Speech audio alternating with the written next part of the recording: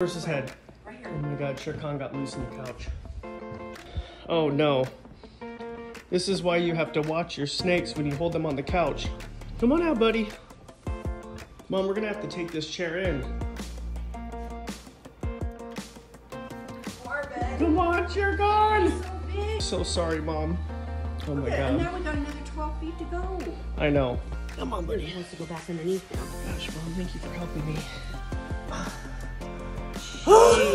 we did it! Do not try this at home.